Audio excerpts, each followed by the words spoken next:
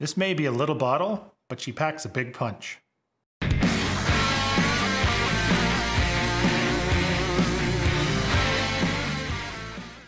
Hello, YouTube, and welcome to Happy Hour. Uh, today, I'm going to do another review. I've been on kind of roll lately. Um, I've had this small little bottle of Talisker 10 for a little while. Um, I bought a, uh, a coastal, I think it's like the coastal coastal tour pack. It was three 200 ml bottles, all of which I've had before, but it was such a great deal around Christmas time. Uh, the three 200 ml bottles, it was a, a bottle, or 200 ml bottle, sorry. Uh, Talisker 10, it had uh, Clynelish 14 and uh, Caol Ila 12. And I've had, like I said, I've had a bottle of each of those in the past, and I, I enjoyed them all. Um, but revisiting this Talisker 10 really, uh, really reminded me how much I actually liked it. So I thought it deserved its own little review. So Talisker 10 is kind of an interesting one. It's not, uh, it's it's quite peated. It's a peated whiskey, but it's not from Islay.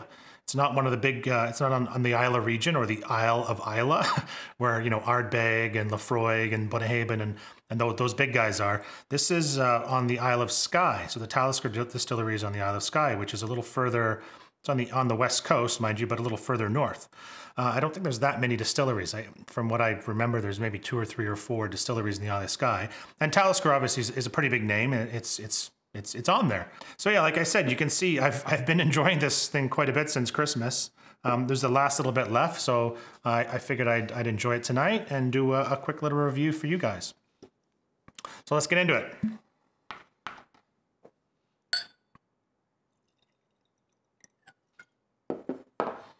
Yeah, so it's it's quite peated. I remember it being quite a peated whiskey.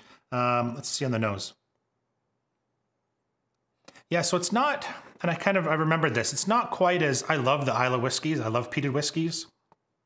Uh, it's not quite that punch in the face that you get from you know Laphroaig 10 or 18 or the Ardbeg 10 or Ardbeg Uigeadail, uh, which is maybe one of my favorite whiskeys ever. Um, it's definitely a little more muted, a little more subtle. What I really enjoyed about this kind of the second time around, and, and again, maybe I'm becoming a little more discerning and I'm starting to kind of understand my new or nuances in the whiskeys a little bit more, but it's extremely well balanced. So you do have the peat in there, you know, a pretty good amount of peat.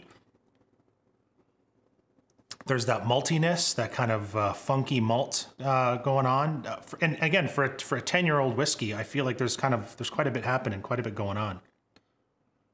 So you get the malt, um, quite heavily malted, a nice kick of peat. There is a sweetness too.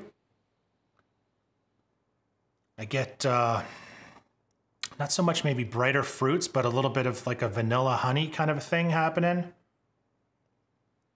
Yeah, it's just all, I kind of get the sweetness, the peat, the maltiness, but it just seems very, very well balanced and put together. Uh, I really like it.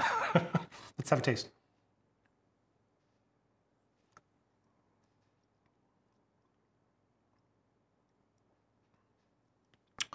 So the peat comes through quite a bit on the on the palate, which I like. But again, it seems it's very well rounded. It's got it has the sweetness with it as well.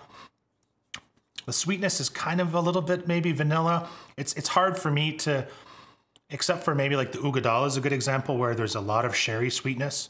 When you have, a, a, a, at least for me, when I have a substantial amount of peat, it's easy for it to be kind of overwhelming and and I tend to get it's I tend to be a little bit it's a little bit harder for me to pick out specific sweeter notes. So I get sweetness because the peat's kind of there the smoke's kind of there punching in the face. But again this is pretty well rounded. I get the a little bit of vanilla sweetness. Definitely get the peat. There's a, a spiciness kind of a, a white peppery spice spiciness that goes with it. Let's have another taste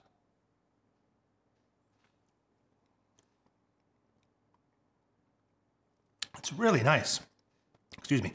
It's also, it's packing quite a punch from the alcohol level too. It's not cask strength, but I think it's 40, 45.8%. So you definitely get a little bit of extra kick or spiciness from the alcohol level. At least obviously over more than your standard 40s and 43s. And it does come through, but it's very well balanced. I'll say it again. I'm really, really enjoying this. I think it's on my list to buy another full bottle. I think it's a nice whiskey when you're not when you don't really want uh, maybe a huge peat bomb, but you want something with with a little bit of smoke that uh, has that spiciness. and just kind of a general barley sweetness. I think this is a really good one you can go for. Let's have another one.